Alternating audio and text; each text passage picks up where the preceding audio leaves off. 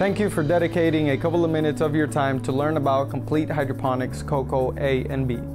My name is Ray Dominguez and I will try my best to explain the intricacies of this two-part nutrient base.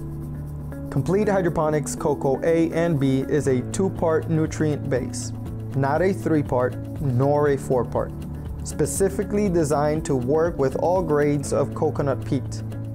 Between the A and the B, your plants will be supplied with higher amounts of calcium and magnesium to make up for the bond deficiencies that the coco coir makes with these elements.